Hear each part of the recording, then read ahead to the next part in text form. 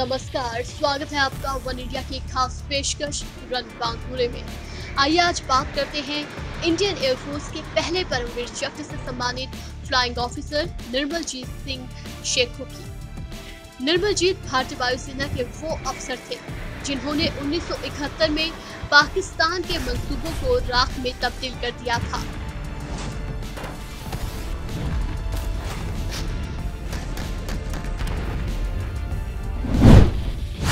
Srinagar airfield पर हमला करने आए पाकिस्तान के तीन फाइटर प्लेन से अकेले टकरा गए थे, जिसमें दो को मार गिराया, बाकी चार को भागना पड़ा।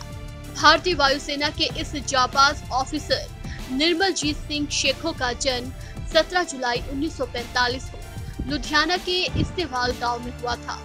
उनके पिता का नाम त्रिलोक सिंह शेखो और माता का नाम हरबंस कौर था।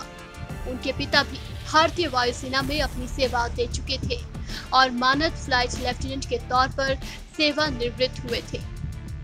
पिता का भी उन पर काफ़ी प्रभाव पड़ा था। चौथा दिसंबर 1971 को निर्मल जीत सिंह पाकिस्तान के साथ युद्ध में शहीद हो गए थे। दरअसल 1971 में भारत पाकिस्तान के युद्ध के समय, फ्लाइंग अफसर निर्मलजीत जिनेट दस्ते में पायलट के तौर पर श्रीनगर में तैनात किए गए थे।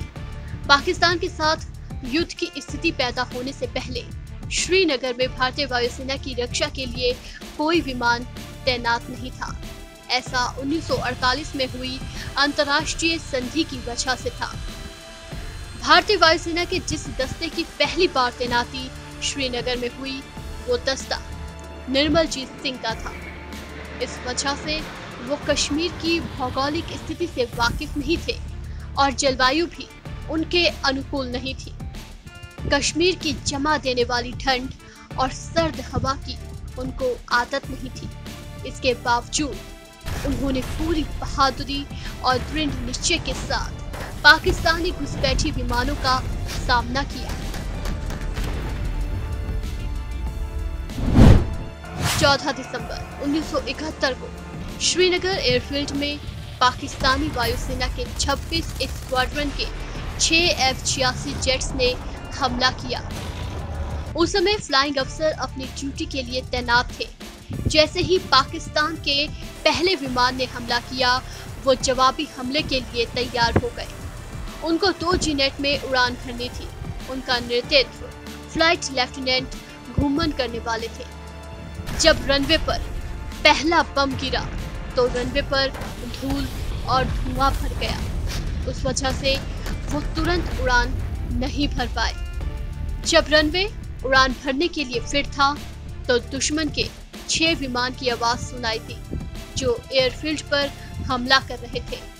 दुश्मन के हमले के बीच उड़ान भरने में काफ़ी खतरा था।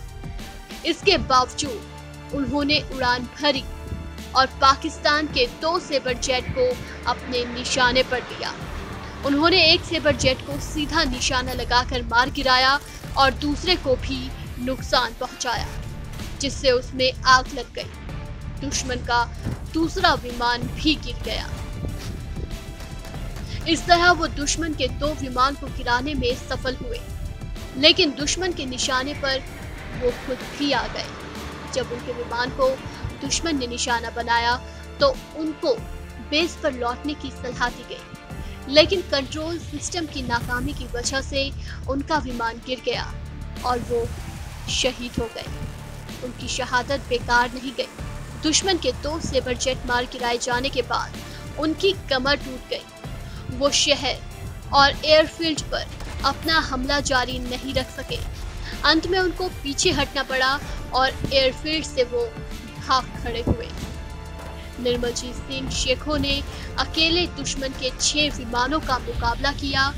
उनकी इस बहादुरी के लिए युद्ध काल के सर्वोच्च वीरता पदक परमवीर चक्र से उन्हें सम्मानित किया गया।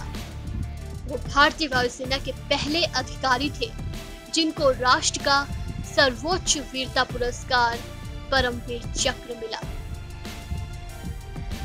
इस पेशकश में फ़िलहाल इतना ही। नमस्कार।